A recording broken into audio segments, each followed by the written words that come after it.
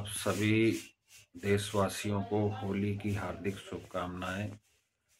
आपका सेवक धीरू कटियार, राष्ट्रीय सचिव, समाजवादी पार्टी युवजन सभा, अध्यक्ष बी पैक्स साधन सहकारी समिति अवनाहा कानपुर, देहात।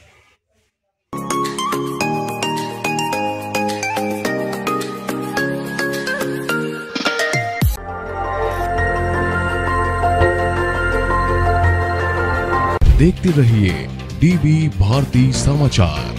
नज़र हर खबर पर।